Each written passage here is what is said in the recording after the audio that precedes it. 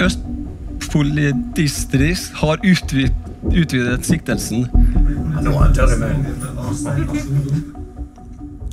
USAs president Donald Trump forlot Europa med hale, med en hale av konsekvenser.